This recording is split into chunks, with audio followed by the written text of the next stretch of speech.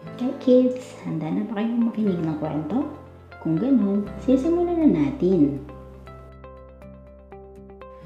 Ang pistang babalikan ko.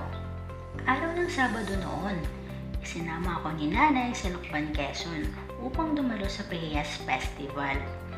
Malugod kaming tinanggap ng aming mga kamag-anak. Maraming tao ang bumibisita sa kanilang lugar sa ganitong araw.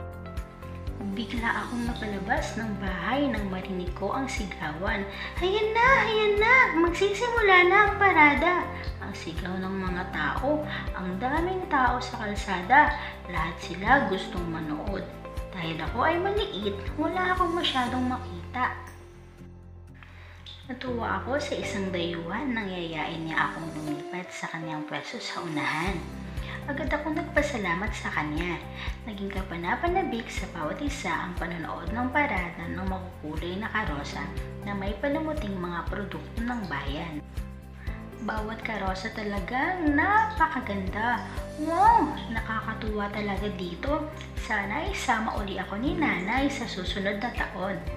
Ang sabi ni Rodel. Naku, lalo kang mariribang kapag nakita mo ang maririhit na palamuti sa kanilang mga bahay.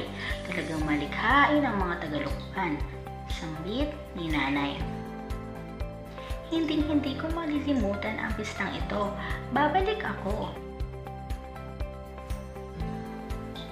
Sagutan natin ang mga sumusunod na katanungan.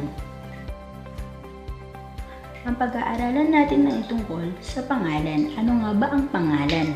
Ang pangalan ay ngalan ng tao, hayop, bagay, buok at mangyayari.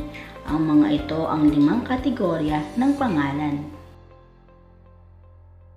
Ito ang mga halimbawa ng pangalan.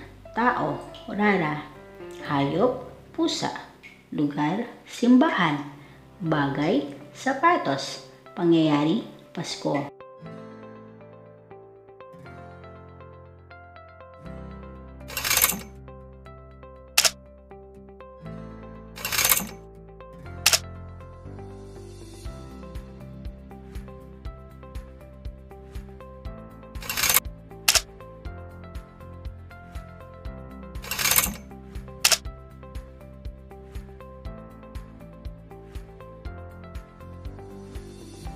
Panuto, isulat ang pangalan ayon sa kanilang kategorya.